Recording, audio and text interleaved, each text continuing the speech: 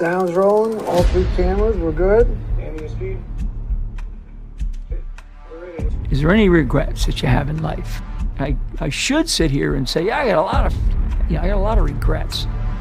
But when I look back on my life and I understand the lives that were lost, I mean, I'm sitting here with you. And I can tell my story. Former National Security Advisor Lieutenant General Michael Flynn pleaded guilty today to lying to the FBI. He was one of the most respected generals in the military. He was, by definition, the most dangerous possible person for Donald Trump to hire. Brilliant military career serving 33 years. Why was he being so elusive? Mike Flynn told the truth and faced life in prison.